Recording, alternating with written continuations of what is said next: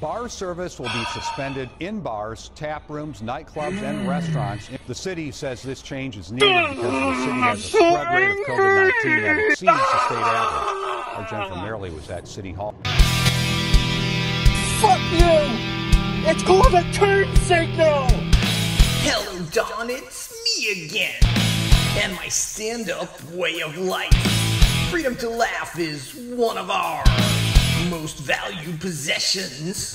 Seems my jokes are oh so 2020. All I care about is bringing something funny. Speak of comedy meeting destruction. Nice joke, tell it to an audience. Observational, classic hack or corny jade. Blue or unblue, oh what to do. The pressure of hot takes.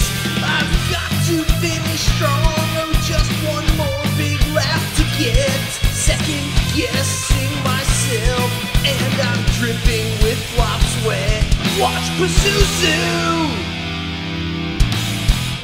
We on TV.